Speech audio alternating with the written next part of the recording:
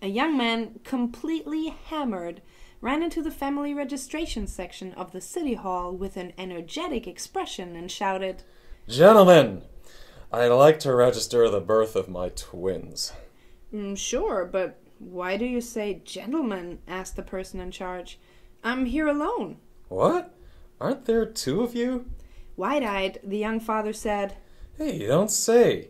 Maybe I should go back home and take a closer look at my newborns again.